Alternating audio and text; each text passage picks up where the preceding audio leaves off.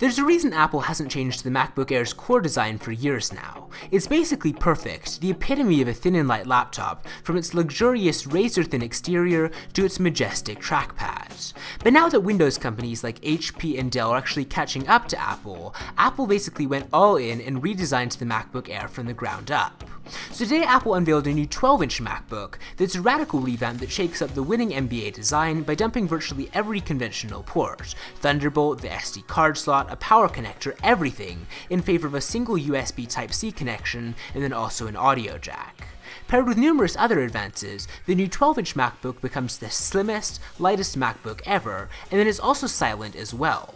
The overhaul slims the notebook down to a ridiculous 2 pounds and 13.1 millimeters in thickness, which is actually the slimmest MacBook by a full 24%, and that's with a full fanless design. The display on the 12-inch MacBook, which packs a Retina class 2304 by 1440 resolution, now reaches edge to edge with barely there bezels. It measures 0.8mm thin and uses 30% less energy than other Retina displays, while still offering the same level of brightness.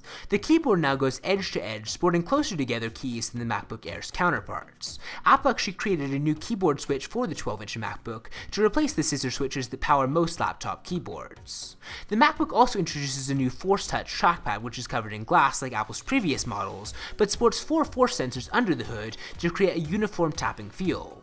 Together with the introduction of a Taptic engine, similar to what you'd find in the Apple Watch, the 12-inch MacBook introduces the idea of light and force clicks. The laptop registers a new class of deep clicks that it uses to automatically open certain programs depending on where you click.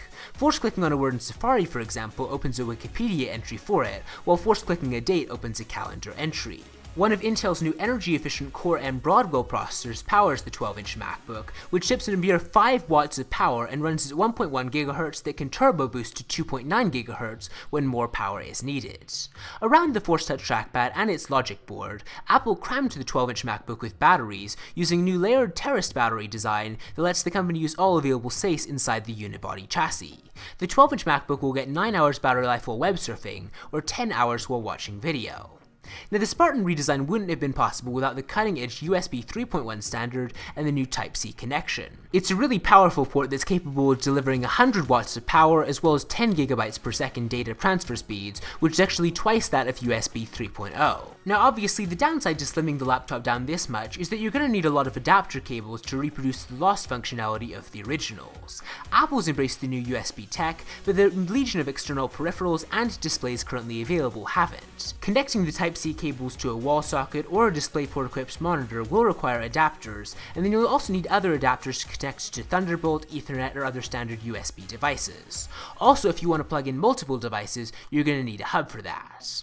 Overall though, the new MacBook looks like a really amazing choice, and it's actually a fairly good deal for Apple. The $1,300 base model includes a 1.1 GHz dual-core processor, 8GB of RAM, and a 256GB solid-state drive. A $1,600 model will pack in a 1.2 GHz dual-core processor, and then 512GB of SSD.